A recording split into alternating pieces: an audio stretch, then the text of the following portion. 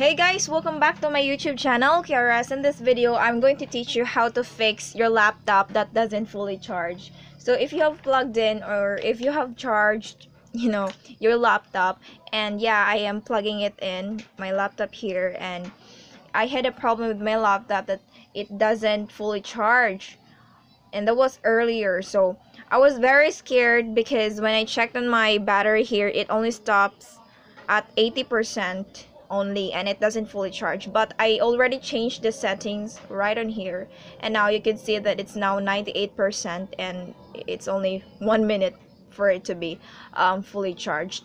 So earlier ago this laptop doesn't actually charge fully charge. So I was curious what to do. And if you have an Asus if your laptop there is Asus then probably I could help you with that. So the thing that we're going to do is click here on the search bar and then search or type Asus battery health charging. So as you can see here we have an application or yeah software. It says here app about the settings about the settings of your um battery or battery health charging. So earlier ago i actually um, realized that I chose the balance mode. So when we say balance mode, it goes only around 80% charge capacity. So it stops there.